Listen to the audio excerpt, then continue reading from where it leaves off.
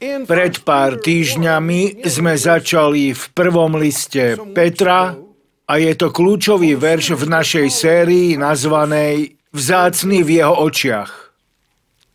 Vzácný v jeho očiach. Náš kľúčový verš je prvý list Petra, prvá kapitola a začneme s veršom 18.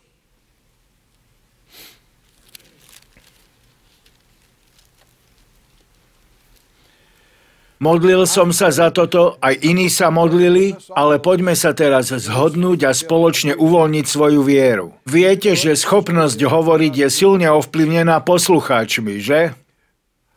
Otec, ohľadom tejto veci sa teraz zhodujeme a spoločne ťa prosíme o schopnosť hovoriť, o pomazanie, o odpovede na otázky, o zjavenie, aby nám bola zjavená pravda aby sme presne porozumeli tomu, čo nám chceš ukázať a čo budeš hovoriť. Daj nám srdce, ktoré bude schopné rozlišovať a mysel, ktorá porozumie. Nebudeme zábudlivými poslucháčmi, ale príjmeme to, budeme si to ceniť, uchovávať si to, udržiavať si to a budeme to s tvojou pomocou aj robiť v mene Ježiš. Amen.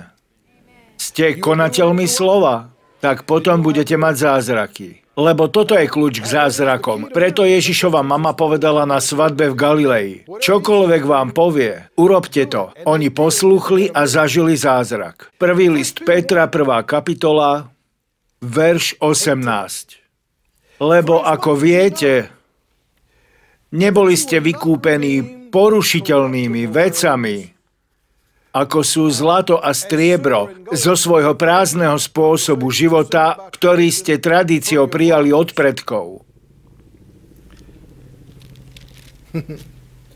Ale, ale boli ste vykúpení a ste vykúpení drahocenou krvou Kristovou.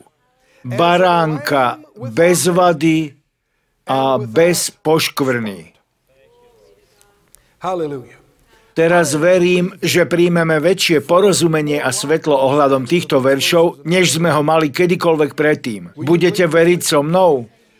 Súhlasíte so mnou, že neexistuje, aby sme plne rozumeli hodnote baránkovej krvi v tom štádiu, v ktorom sa dnes nachádzame? Ani sme sa nepriblížili k tomu, aby sme plne pochopili a porozumeli tomu, čo vykúpenie nás všetkých cez jeho krv znamená, aké veľké je. Ja chcem vidieť a vedieť, čo bolo za mňa zaplatené. Chcem to poznať. A čo vy?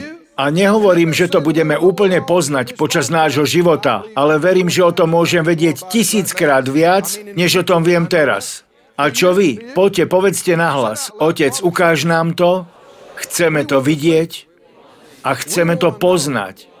Pýtame si od teba, ukáž nám vzácnu Kristovú krv. Jej cenu, jej hodnotu a to, ako sme vykúpení. Cez ňu.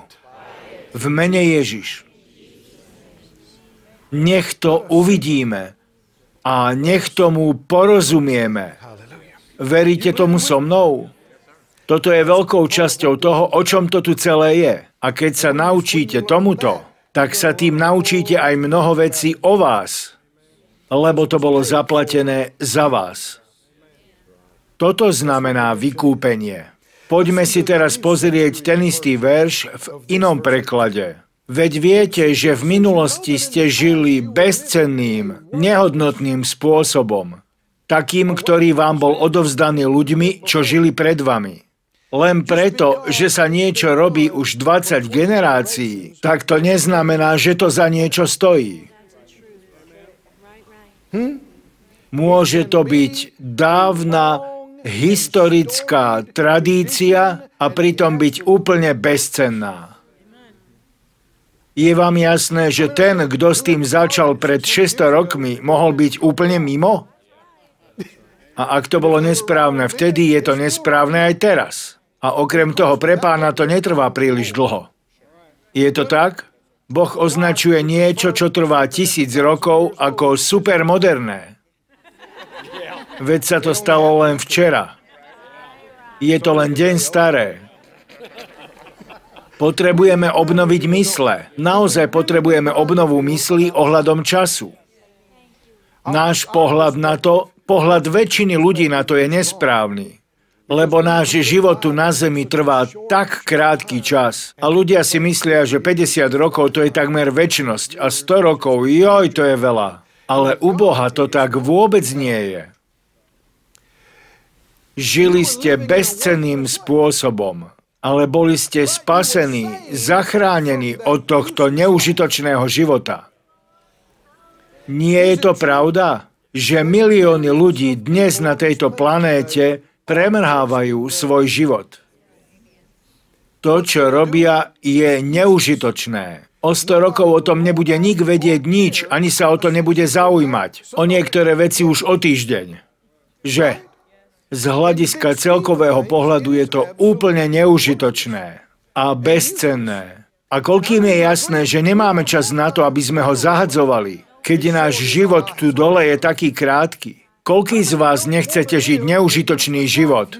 Nechcete žiť bezcenný život? Boh nás nepovolal k tomu, aby sme premárnili svoj život. Je to tak? Nikdy vás nepoveril robiť niečo, čo bolo neužitočné, čo nestálo vôbec za nič. Všetko, čo vám prikázal robiť, čo prikázal mne, všetko toto má väčší účinok.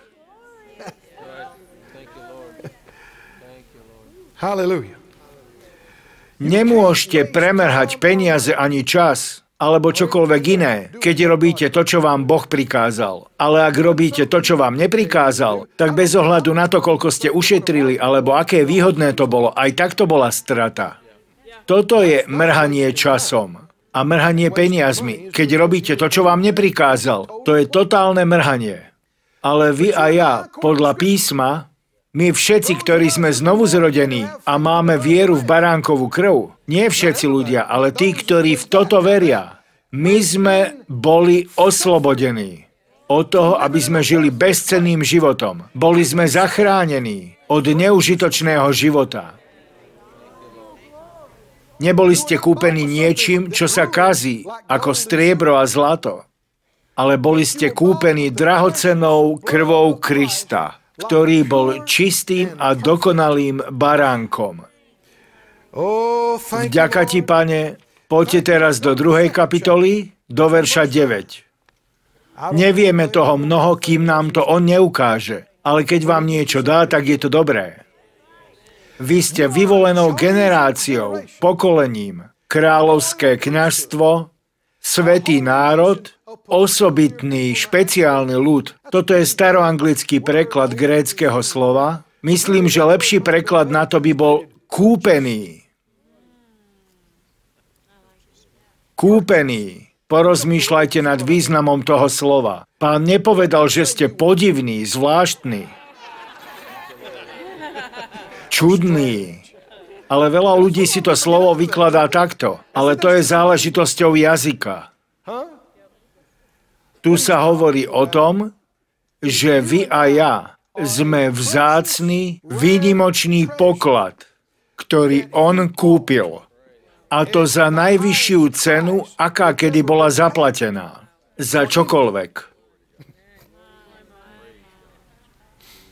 My sme jeho vzácným, neobyčajným pokladom. Vedeli ste, že v celom vesmíre v celom čase, vo väčšnosti, vo väčšnosti, ktorá bola a vo väčšnosti, ktorá bude. Nikdy nebolo a ani nikdy nebude druhé vy.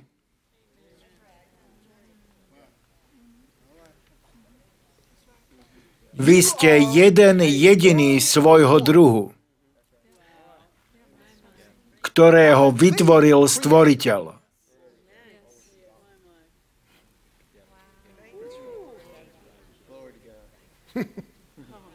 Niekto to potrebuje povedať.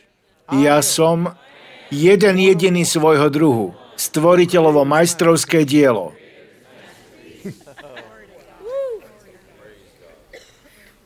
Ale diabol bude robiť všetko, čo len dokáže, aby vás presvedčil o opaku.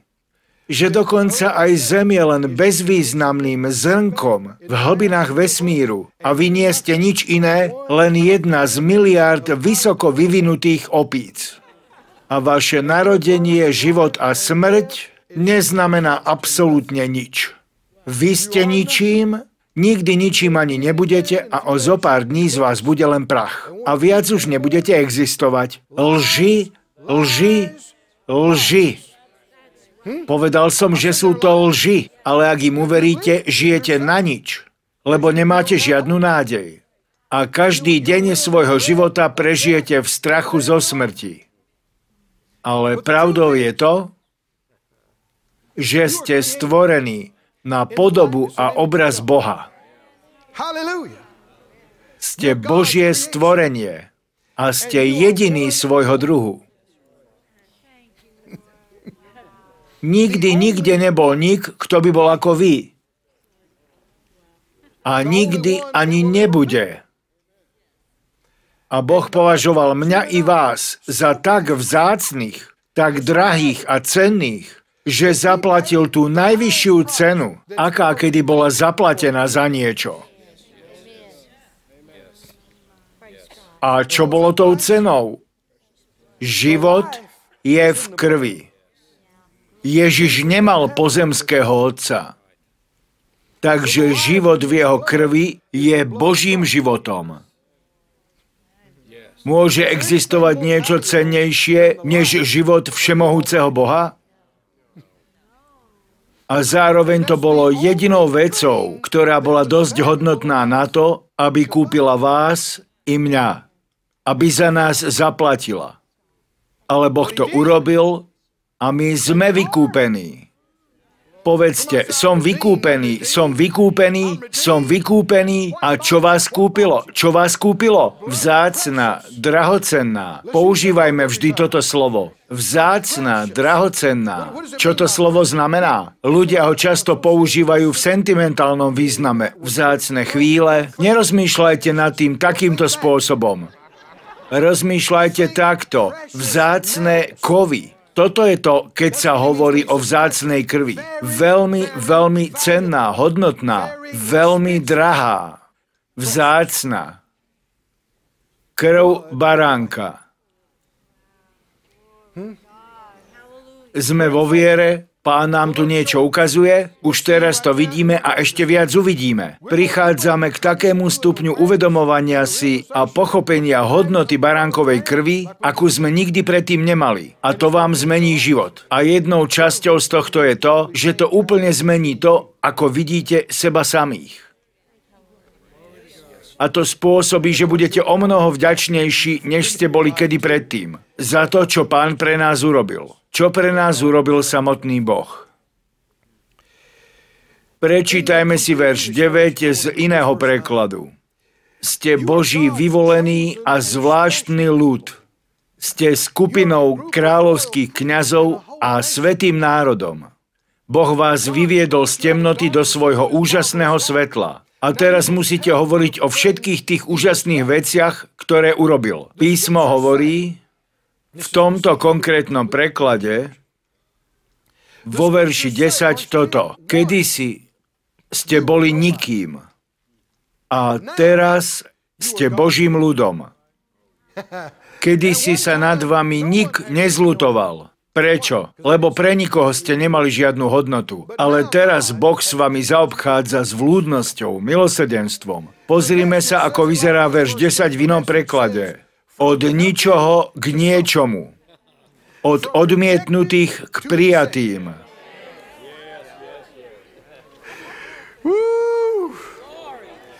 Sláva Bohu. Ja som bol niktož, ale teraz som niekto.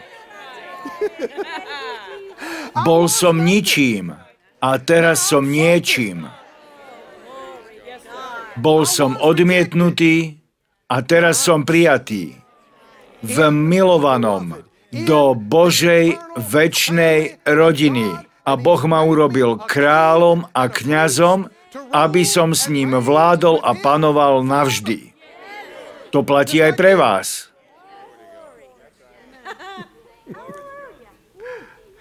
Poďte povedzme, som niekto. Som niečím. Som prijatý. On ma takým urobil. Nikdy neodporujte Bohu tým, že budete hovoriť, som nikto. Lebo je to v priamom protiklade voči tomu, čo povedal on. A je to zneváženie ceny, ktorú za vás zaplatil. Nehovorte, ja som nikto. Áno, boli ste takí bez neho, ale teraz už nie ste bez neho. Boli ste nikto bez Neho, ale už nie ste bez Neho. On je vo vás a vy ste v ňom. On vás urobil niečím. Urobil vás niekým. On je slávou a pozdvihovateľom vašej hlavy. Poďte povedzme, ja som niekto. On ma urobil niekým. Pozrime sa teraz do ďalšieho prekladu, verš 9 ale už nie ste takýto. Ste vyvoleným ľudom, ste kráľovskými kňazmi, svetým národom, majetkom samotného Boha. Pozrite, ako preložili to, čo sme predtým mali ako zvláštny ľud. Je to trocha iné. Nesústredte sa na to slovo zvláštny. Je to vec prekladu. Boli ste kúpení a ste extrémne cenným, drahým Božím majetkom. Toto je význam tých slov. A výsledkom je to, že môžete iným ukazovať Božiu dobrotu, lebo vás povolal z tmy do svojho predivného, úžasného svetla. Toto je zahrnuté aj v našich kurzoch Viera pre život, aby sme iným ukazovali Božiu dobrotu a povzbudzovali ich v tom, že čo Boh urobil pre vás, urobí aj pre nich. Verš 10. Kedysi ste nemali ako ľudia žiadnu identitu. Áno, kedysi sme boli vonku, mimo, boli sme pohania. Je to tak? Žiadna zmluva s Bohom. Boli sme mimo. Biblia hovorí, že sme boli bez nádeje vo svete. Hovoríme o tom byť nikto. Lebo naozaj je možné žiť bezvýznamný, bezcenný život. Zomrieť stratený, nemať nič, byť ničím a nerobiť nič. Je to možné a aj sa to deje. A je to jedna z tých najsmutnejších vecí v živote. Ale ak dáte svoj život pánovi, povedal som, ak dáte svoj život pánovi a budete mu veriť, keď ho príjmete a znovu zrodíte sa, tak ste urobení niečím, a ak budete hľadať a nájdete jeho plán pre váš život a pôjdete za ním, nebudete žiť neužitočným životom. Boh vás môže dostať do takého štádia, kedy všetko, čo robíte, prináša ovocie a zostáva po celé storočia. V každom dni vášho života sa udeje niečo, čo bude mať hodnotu aj o tisíc ročie. Nebude to ten plán, s ktorým ste prišli vy. Ale ak objavíte jeho plán a budete ho s jeho pomocou vykonávať, tak on spôsobí, že všetko, čo robíte, má zmysel. Premýšľal som nad tými dvomi vecami, ktoré mi pán nedávno pripomenul. Dve veci, ktoré nám veľmi pomáhajú v rozšírení našej služby sú poprvé internet a počítače a po druhé lietadlo. A pán mi o tomto hovoril takmer pred 30 rokmi, keď som nemal nič z tohto. Keď som sa raz modlil, povedal som, pane, akýkoľvek nástroj, ktorý potrebujeme, aby sme uskutočnili naše poverenie, ten si teraz pýtam. Cítil som vo vnútri, že to mám urobiť. A keď som to urobil, čo skoro na to nás pán viedol k tomu, aby sme sa začali učiť o počítačoch. Pamätáte si niekto 286 s 20 megabajtovým harddiskom? Ha? A aj keď stále neviem príliš veľa o počítačoch, ale nemusím to vedieť, lebo mám okolo seba úžasných ľudí, ktorí nám pomáhajú. Takisto aj s lietadlom. Ale pán mi vtedy povedal ešte niečo iné, o čom vám tu teraz poviem, a aj tým, čo nás sledujú. Povedal mi, synu, čím hodnotnejší, počujete to? Čím hodnotnejším, cennejším sa mi stane tvoj čas, tým viac z neho ti pomôžem vykúpiť. Dám ti k tomu nástroje a schopnosti, ľudí a veci, ktorí ti pomôžu vykupovať tvoj čas. Nepotrebujem interkontinentálne lietadlo a internetové vybavenie za milióny dolárov na to, aby som sedel doma, dal si tam šlofíka a potom pozeral televízor.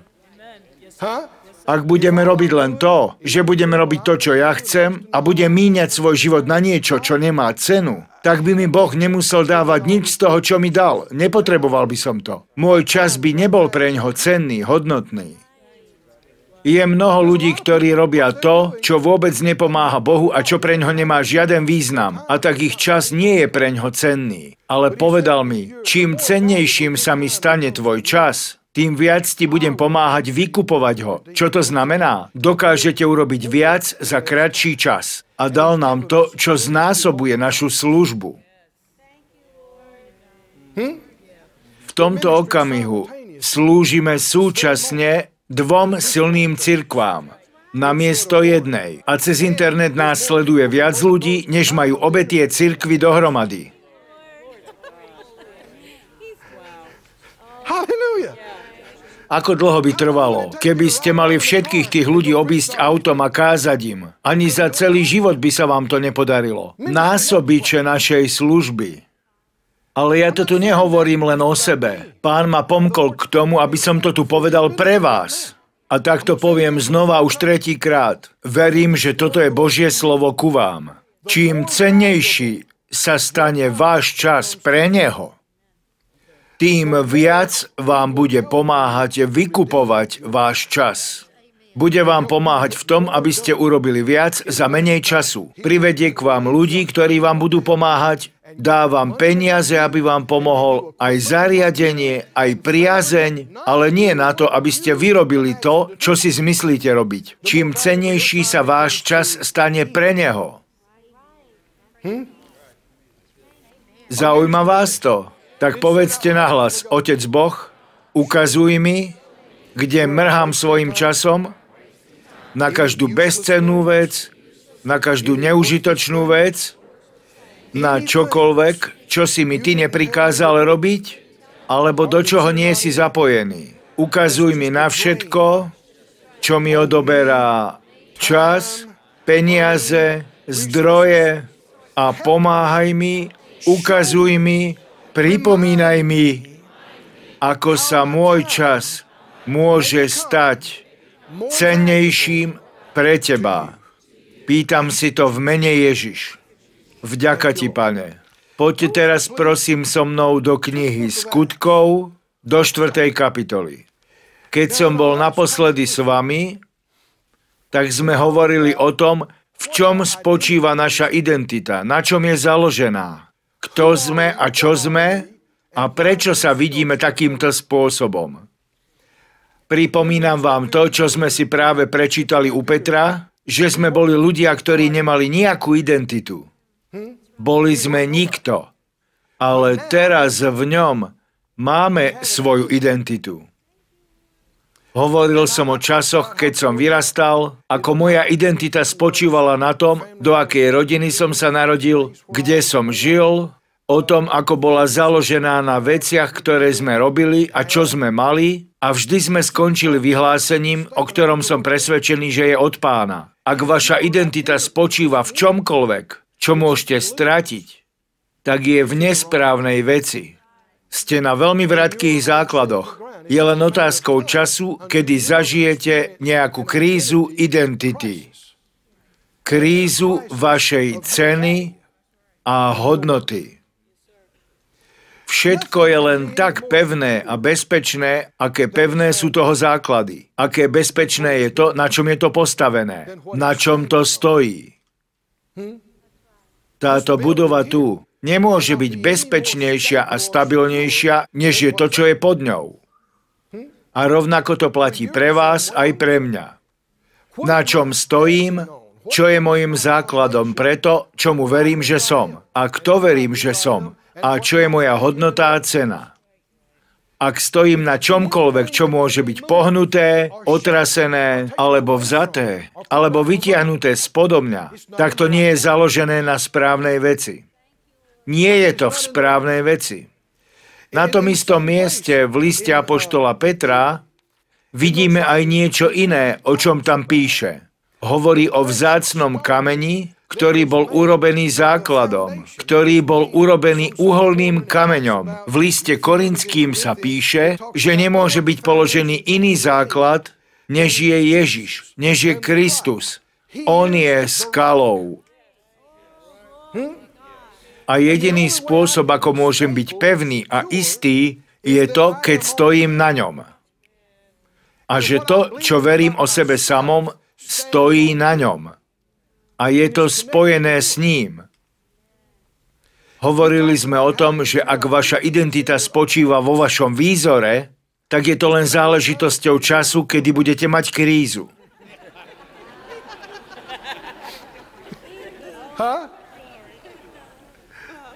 Je to tak, či nie? Som krásna, som pekný, som to, či ono. Dobre, to hovoríte, lebo ste mladí alebo v strednom veku, ale Biblia hovorí, že všetko telo je ako tráva, ako kvet, ktorý vykvitne a potom zvedne a je preč. A preto vidíme, ako ľudia prechádzajú tzv. krízou stredného veku. Nielen muži, ale aj ženy. Videl som mnoho žien, ktoré sa správali tak, ako keby niečo tragicky stratili, lebo zrazu nevyzerajú tak, ako vyzerali, keď mali 25. Nuž mali by ste vedieť, že to prichádza. Nuž, či ste to nevedeli? Nevedeli ste to? Jasne, že môžete byť atraktívnym, krásnym človekom aj v 85-ke ale aj tak budete vyzerať inak, ako keď ste mali 18. Viete všetci o tom? Hm, neradi o tom hovoríme. Potrebujete o tom hovoriť. Ak je vaša identita postavená príliš na vašom výzore alebo na vašich fyzických, športových schopnostiach, tak je to len otázkou času, kedy dolahne na vás kríza ohľadom toho, kým som, čím som a aká je moja cena, hodnota. Možno ste kedysi bývali najkrajšou ženou v miestnosti. No dobre, ale čo keď už viac nebudete tou najkrajšou ženou?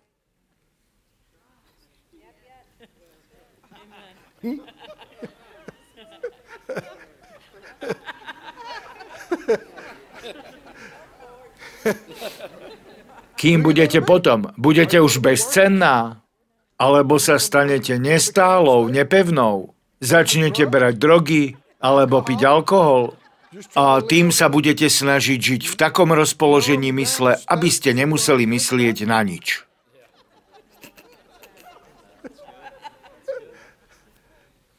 Keď si uvedomíte, kým ste v Bohu a aká je vaša hodnota v ňom a pre Neho, tak ste stále rovnakým človekom predtým, počas toho, takým istým potom, stále ste tým, kým ste. Ste stále tým, čím ste, bez ohľadu na to, čo sa deje vo vašom tele.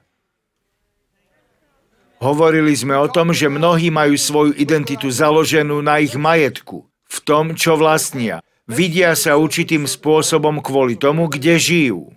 A ako žijú v akom dome alebo v akých domoch žijú, aké auto či autá šoférujú, aké šaty nosia, veci. Ale ak by toto bolo vzaté, ak už nežijete v tom veľkom dome a nemáte už to krásne auto, dokonca nemáte žiadne, kým ste teraz? Potom bude zo mňa pouličný tulák. Nikto. Presne o tomto hovorím. To znamená, že ste nevedeli, kým ste, keď ste žili v tom veľkom dome. Žili ste v rozprávke. Žili ste v klame. Naozaj je to tak. Ak si myslíte, že ste niekým len preto, že žijete v nejakom dome, tak ste oklamaní. Ak si myslíte, že to, že máte úžasné fáro, vás robí niekým, ste oklamaní. Auto je len auto. A dom je len domom. Neurobia vás nikým. Môžete si ich užívať, ďakovať Bohu za ne, ale neurobia vás niekým. Ježiš povedal, dávajte pozor, Lebo život človeka nespočíva z množstva vecí, ktoré si nazhromaždil. Moja identita nie je v mojom výzore. Ani nie je v tom, čo vlastním. A po tretie, moja identita nie je v mojich skutkoch. V tom, čo som dosiahol. Čo som všetko urobil, dobré či zlé. Kto som? Viete, to sú tí, čo urobili toto a toto. Kto je ten človek? Ten, čo vybudoval toto. Ten, ktorý urobil toto a toto. Ale čo potom, keď si už nik nepamätá, čo ste urobili? Potom ste kým? To je ten, ktorý prekonal rekord.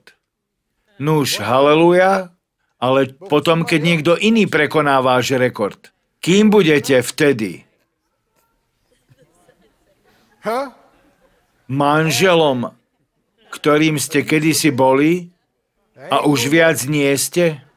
Koľkým je jasné, o čom hovorím? Je nebezpečné mať svoju identitu v tom, čo ste dosiahli. Pretože ako dlho si na to niekto bude pamätať? Alebo čo keď niekto dosiahne to, čo vás zďaleka prekoná? Potom na vás príde kríza ohľadom toho, kým ste, čím ste a aká je vaša hodnota. Potrebujeme byť oslobodení z tej zúfalej túžby potom, aby nás iní uznávali, chválili a poznali, aby o nás vedeli.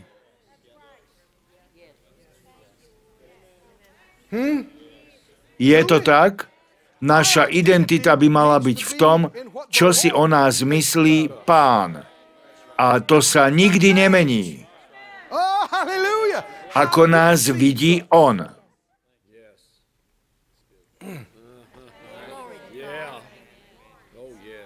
Poďme do 4. kapitoly skutkov. 4. kapitola skutkov, verš 33 hovorí. Apoštoli s veľkou mocou vydávali svedectvo o zmrtvých staní pána Ježiša a na všetkých spočívala veľká milosť. Nikto medzi nimi totiž nebol núdzny. To bola církev s tisíckami ľudí. A nebol tam jediný, čo by mal nedostatku. Môže toto Boh robiť aj dnes? Jeho vôľa sa nikdy nemení. A udialo sa to takto pretože všetci, čo vlastnili polia a domy, ich predávali. Nehovorí sa tu, že to mala ich banka. Bolo to ich, oni to vlastnili. Inak by nemohli darovať peniaze, keď sa to predalo. A toto je dôvod, prečo celé roky hovoríme, získavame naše domy, budovy, pozemky, ale nik nepovedal, že v nich musíte žiť celý život alebo všetky stále vlastniť. Všetci, čo vlastnili polia a domy, ich predávali. A to, čo za ne utržili, prinášali a kladli ich k nohám apoštolov a potom sa to rozdeľovalo každému podľa toho, kto ako potreboval. Takýmto spôsobom sa uskutočnilo to, že každý z tých tisícov ľudí, čo boli v cirkvi, mal naplnenú každú svoju potrebu. Nebol tam jediný človek, ktorý by trpel nedostatkom. Toto je tiež charakteristickou črtou duchom naplnenej cirkvi. Len o zo pár kapitol skôr vidíme, ako boli naplnení duchom. Takže teraz boli tak plní ducha, tak plní lásky k Bohu a k iným ľuďom, že ľudia boli pre nich dôležitejší ako veci, statky. A tak boli ochotní všetko popredať a boli ochotní rozdávať obrovské čiastky, aby bolo postarané o všetkých a o všetko. Je toto stále Božou vôľou? Áno, je. Verš 36. A tak Jozef, ktorému apoštoli dali príjmenie Barnabáš, čo znamená syn potešenia, levita rodom z Cypru, ktorý mal pole, predal ho a peniaze priniesol a položil apoštolom k nohám. Ideme ďalej do 5. kapitoly. No nejaký muž menom Ananiáš s manželkou Zafirou predal svoj majetok. Rovnako ako to urobili ostatní. A z vedomí manželky odložil si z utrženej ceny. Takže obaja sa na tomto spoločne dohodli. a len čiastku priniesli a položili apoštolom k nohám, ako by to bolo všetko, čo zarobili. Verš 3. Povedal mu Peter, Ananiáš, prečo ti Satan naplnil srdce, aby si klamal Duchu Svetému? Je Duch Svetý reálnou osobou? Počuje a hovorí. Peter povedal, klamal si Duchu Svetému. Buďte si istí, že keď toto robili, tak nad týmto nepremýšľali. Mysleli si, že klamú Petrovi. Ale Peter bol povolaný Bohom a v tejto cirkvi bol Božím zástupcom. A tak keď sa rozhodli, že budú klamať jemu, tak Boh si to vzal osobne, že klamali jemu. Odložil si si z peňazí za predané pole. Ako Peter vedel, že to urobili? Bolo to slovo poznania. Pán mu to zjavil. Verš 4. Či jazda nebolo tvoje, keď bolo ešte nepredané? A keď už bolo predané, nebolo v tvojej moci? Niektorí ľudia si toto prečítali a väčšinou sú to tí, čo nepoznajú Boha a povedali, vidíte, mali všetko spoločné. A tak nútili tých, čo niečo ešte mali, aby to dali ľuďom. Presnejšie, brali im to a dávali tým, čo nič nemali. Ale to nemá nič spoločné s týmto. Nikto nikoho k ničomu nenútil. Tí ľudia to robili na základe vlastného rozhodnutia. A Peter to ukazuje na prípade Ananiáša a Zafiry. Povedal, bolo to vaše a nik vám nekázal, aby ste nám to dali. Nik nepovedal, že to musíte urobiť, keď chcete ísť k nám. Nik vám nepovedal, že to musíte urobiť. Ešte pred predajom, či to nebolo vaše? Mohli ste si to nechať a nepredávať to. A keď už to bolo predané, povedal vám niekto, že musíte dať peniaze? Alebo ako veľa? Či to nebolo vaše? Bolo to vo vašej moci. Prečo si si toto vymyslel vo svojom srdci? Neklamal si ľuďom, ale Bohu. Postavil si sa pred Bohom a jednal si tak, ako by si robil niečo, o čom si vedel, že nerobíš. Vidíme tu to, že Boh pre Ananiáša a Zafiru nebol dostatočne reálnym, aj keď boli členmi tej cirkvi. Čítajme ďalej, keď Ananiáš počul tieto slova, padol a vydal ducha. A prišla veľká bázeň na všetkých, ktorí to počuli. Toto nie je stará zmluva. Je to tak? Potrebujeme mať rešpekt voči Bohu a voči Božím veciam. Vieme, že o niečo neskôr, presnejšie o 3 hodiny neskôr, prišla Ananiášova žena Peter sa jej spýtal na to, čo urobili, ona povedala tú istú lož a padla mŕtva aj ona. A Biblia hovorí, že na celý cirkevný zbor a na všetkých, ktorí to počuli, padla veľká bázeň. Dám vám jednu otázku. Prečo to urobili? Prečo Ananiáš a Zafira toto urobili? Prečo? Prečo by ste takéto niečo urobili? Pretože chceli uznanie od ľudí. Nie je to tak, ale milovali peniaze, ale zároveň chceli uznanie ľudí. Lenže to, čo robili Barnabáš a iní, to títo dvaja neboli ochotní urobiť. A tak cez lož, vykrúcačky a podvod sa snažili ukázať ako úžasní ľudia, ale jednali tak, ako keby Boh nebol skutočný, ako keby to nevedel. Takže boli nejako ustarostení tým, čo Boh videl a čo si myslel? Nie. Zaujímalo ich len to, čo ľudia videli a mysleli si.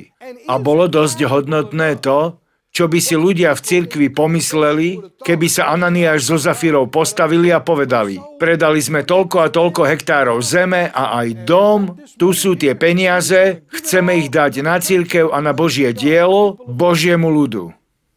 Čo by si ľudia boli pomysleli? Nuž niektorí by to ani nepočuli, lebo spali. Lebo už predtým zadriemali.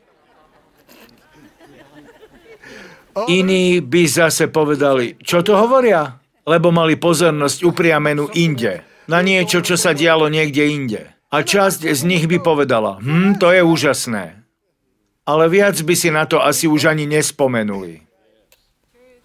Takže sa chystali postaviť a klamať Bohu kvôli veľmi povrchne mienenému, hm, to je úžasné.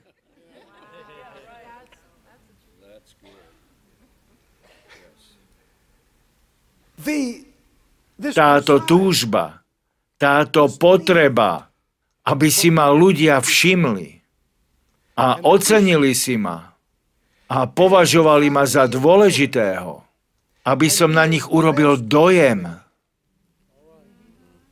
Toto všetko zjavuje neistotu, nepevnosť, nestabilitu. To, že neviete, kým ste v Kristovi a neviete, čím ste.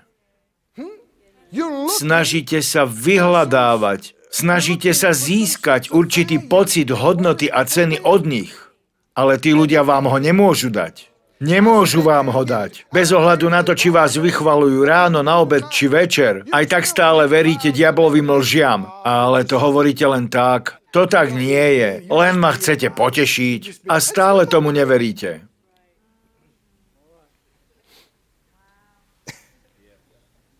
Ak vaša identita spočíva v tom, čo ste urobili, tak je na veľmi vratkých základoch. Poďte so mnou do Jánovho Evanielia, Jánovo Evanielium,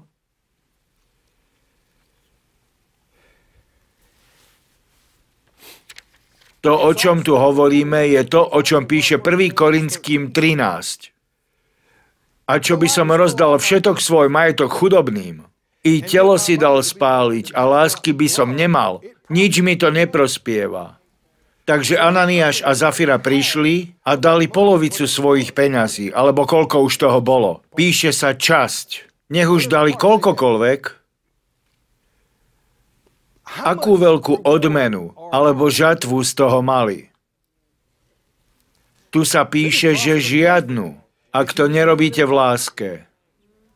Takíto ľudia to nerobia preto, lebo majú radi ľudí a chcú vidieť ich potreby naplnené. Robia to preto, lebo chcú svojich 15 minút slávy. Chceli, aby každý po zhromaždení na večeri hovoril o tom, čo urobili Ananiáš a Zafira. A mali pravdu, lebo sa naozaj o tom hovorilo.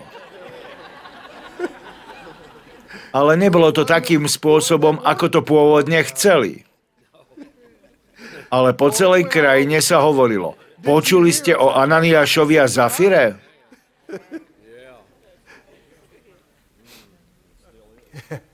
Povedzte nahlas, vďaka ti, pane, že ma oslobodzuješ od potreby toho, aby ma uznávali a chválili iní ľudia. Musíte byť slobodní od tohto. Potrebujete slobodu od tohto. Je to fajn, keď vás niekto ocení a je si vedomý toho, čo ste urobili a ďakuje vám, alebo ďakuje Bohu za vás. To je fajn. Buďte za to vďační, ale nemeditujte nad tým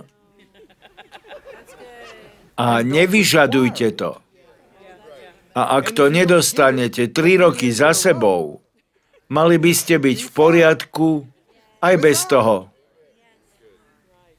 Povedzte, nepotrebujem to. Nemusím to mať. Ale to, čo musím mať, je jeho uznanie. To, čo naozaj potrebujem, je poznanie toho, že on ma miluje, že som cenný pre neho, on je so mnou spokojný.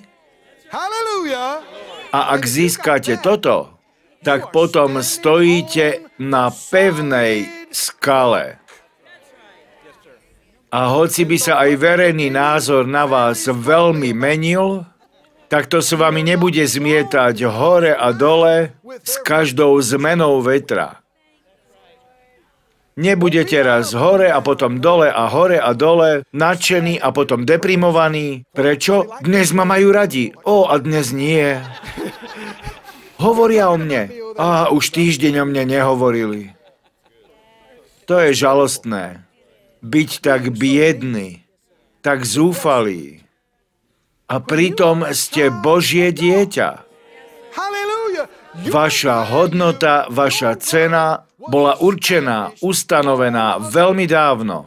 Cenou, ktorá za vás bola zaplatená. V tomto je moja identita. A čo vaša? Moja identita je v tomto. A budem takýto aj o milión rokov.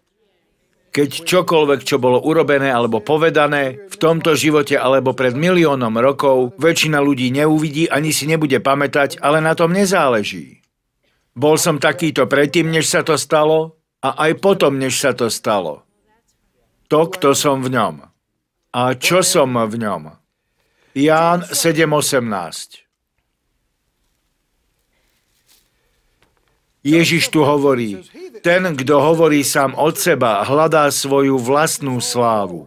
Ale ten, kto hľadá chválu toho, ktorý ho poslal, ten je pravdivý a nie v ňom neprávosti. Toto je to, prečo mnohí ľudia stále chodia za všetkými a hovoria im, čo urobili. Čo robia? Vyhľadávajú svoju vlastnú slávu. Ahoj, povedia aj neznámemu. Ahoj, ja som ten a ten a mám toto a robím toto a pokračujú. Poznám toho aj toho, čo tí ľudia robia. Snažia sa vzbudiť dojem. Veď toho človeka nepoznáš. Prečo ti záleží na tom, či si na neho urobil dojem alebo nie?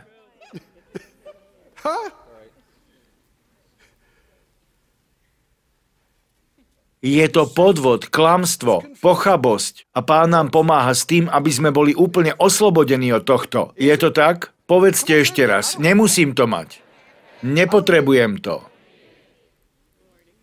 A ak sa toto stane vo vašom živote, budete úplne odlišní od väčšiny ľudí vo svete. Ja nehľadám svoju vlastnú slávu. Stalo sa mi, že prišli ku mne úplne cudzí ľudia. Ahoj, brat Kit, som ten a ten, mám takúto službu a Boh si ma používa vo všetkých deviatich daroch ducha. Áno? A o čo tým ľuďom ide? Chcú, aby ste spravili čo? Fíha! Ste úžasní. Prečo? Lebo to potrebujú. Ale nemali by to potrebovať. A bez ohľadu na to, koľko tých fíha dostanú, tak to aj tak nič nevyrieši. Nikdy toho nebude dosť. Poďte do 5. kapitoly. Ján 5, verš 41. Toto je tak život meniaca pravda. Ježiš povedal, čo povedal? Ja nepríjmam chválu, slávu od ľudí, lebo sa stalo aj to, že chceli Ježiša urobiť kráľom, ale on odišiel. Jednoducho sa zbalil a odišiel. Ježiš, je tu plno ľudí, ktorí ťa chcú urobiť kráľom. Áno, najvyšší čas odísť. Hovoríme o tom, aký bol pán sebaistý. Hovoríme o tom, aký bol pevný, neklátivý. Bolo to tak, že zúfalo potreboval, aby s ním zástup súhlasil za každým, keď hovoril.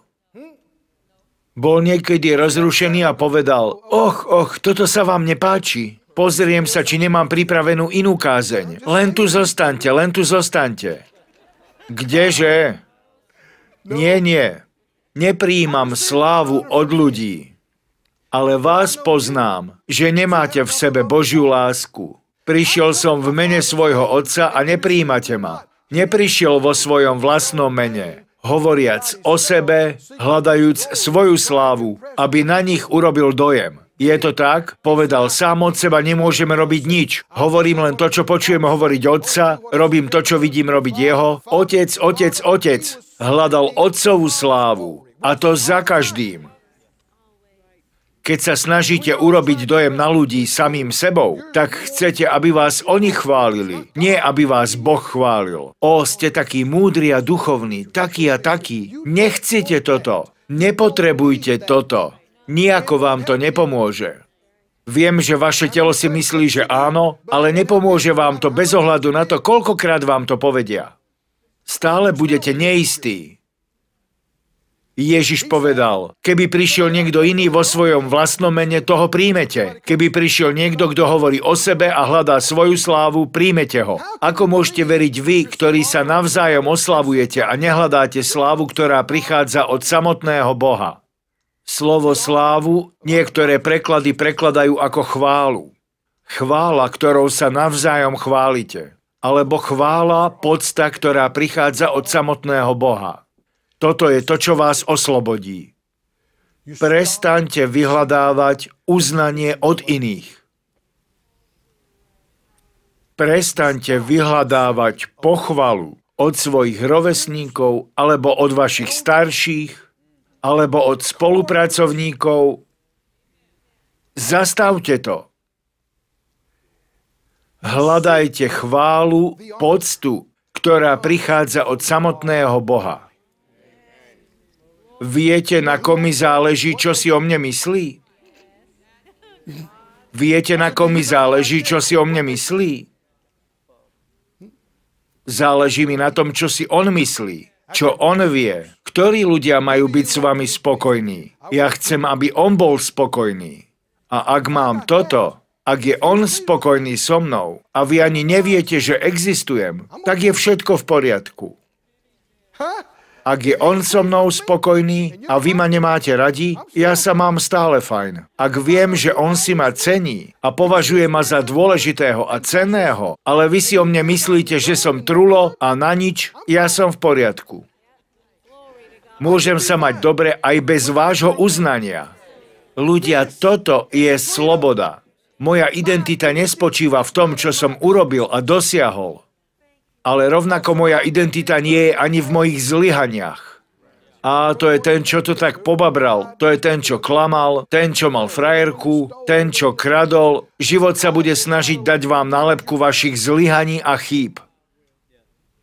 Ale, ale, ak ste úprimne prišli k Bohu a urobili pokánie, urovnali ste si to s ním a ste obmytí baránkovou krvou, tak vás už nevidí ako toho, ktorý to urobil. Vidí vás ako spravodlivosť Božiu v Kristovi a ste jeho milovaným synom či dcérou očistený baránkovou krvou, urobený hodnými na to, aby ste mohli vojsť do jeho prítomnosti v jeho trónnej sále. Ak on nie je na mňa nahnevaný, tak to vydržím, keď sa vy na mňa hneváte. Ak ma on prijal a obnovil ma, tak vydržím to, keď vy nie. Lebo keď príde na to, čo si on myslí, tak to je dôležitejšie, než to, čo si myslíte vy. Je to tak, či nie? Ján 2. kapitola. Písmo hovorí, boli ste nikým, ale teraz ste niekým.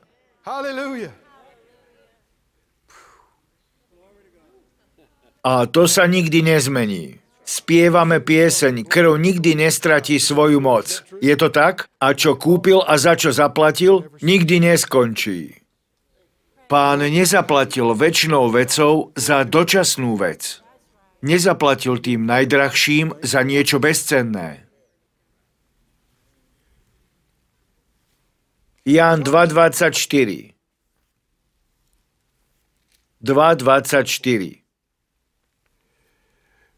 Biblia pri tejto príležitosti hovorí, že Ježiš sa im nezveril, lebo poznal všetkých ľudí. Slovo ľudí je v zátvorke, ale súvisí s témou. Verš 25. A nepotreboval, povedzte, nepotreboval. Nepotreboval, aby mu niekto vydal svedectvo o človeku. Prečo? Lebo vedel, čo je v človeku, akú mal cenu. Existujú ľudia, ktorí minú každý dolár, čo majú, ktorí rozbijú svoje vzťahy, len aby sa dostali na obálku nejakého časopisu, boli na nejakej veľkej párty, ktorí chcú mať kanceláriu na najvyššom poschodí. Prečo? Najčastejšie preto, čo si ľudia budú myslieť. Budú si ma všímať. No dobre, tak si vás všimli. Na 8 minút. Ale akú to má hodnotu? Akú to má cenu? Niekedy si ľudia myslia, že to najúžasnejšie, čo sa kazateľovi môže stať, je to, keď sa dostane do nejakých správ, talk show, keď je medzinárodne známy, ale pán by mi musel prikázať, aby som tam išiel. Počujete ma? Musel by mi prikázať ísť. Ak by mi to povedal, áno, pane, idem. Ale prečo? Nestarám sa o to, čo si myslia iní. Zaujímam sa o nich, ale nepotrebujem ich uznanie. A to je tak oslobodzujúce. Je to tak úžasné. Som na obrazovke, ale nepotrebujem byť na obrazovke. Nepotrebujem, aby ma ľudia videli a poznali. Robíme to na pánov príkaz. Nepotrebujem to, aby ma ľudia neustále obdivovali.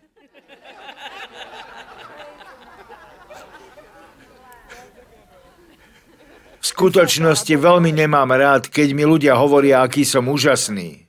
Naozaj to veľmi nemám rád. Prečo? Lebo mám rád pomazanie.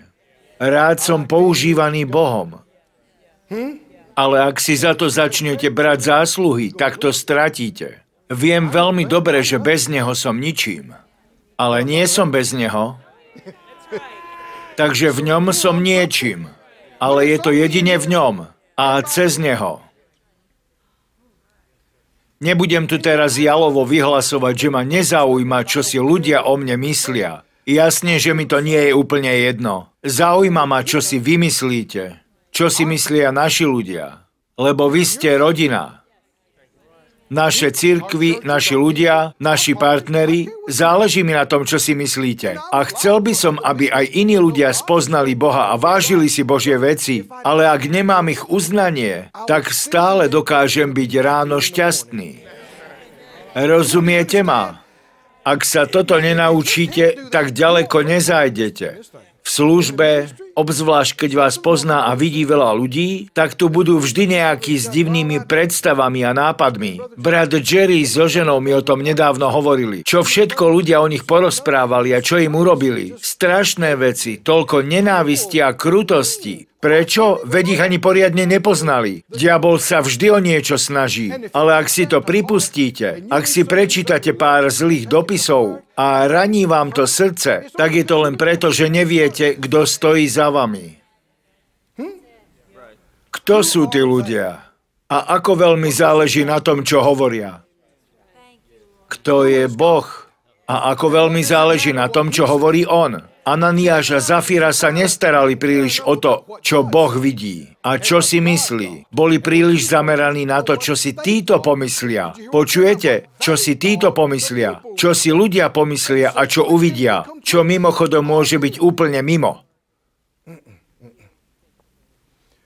Biblia hovorí, že niektoré skutky a to, čo ľudia dosiahli, sa ukážu počas tohto života, ale tie, čo nie, nemôžu byť skryté. Bude za to odmena. Hovorí sa tu o dobrých aj zlých veciach. Sú veci, za ktoré budete odmenení už tu, ľudia to už tu zistia a budú o tom vedieť, ale sú veci, ktoré o vás nebudú vedieť celý život, ale bude lepšie, keď to vyjde najavo neskôr. Veríte tomu? Je veľa ľudí, ktorí sa modlia, dávajú a nikto tom nevie. Tí ľudia robia veci a nebudia žiadnu pozornosť. A pritom to, čo robia, je kľúčové a základné v určitých oblastiach Božieho diela. Ale počas ich života sa o tom nikto nedozvie. Ale to je super, lebo neskôr to sám Boh vyťahne a ukáže na to. Keď ich odmení, Boh nikdy nezabúda. Hallelujah.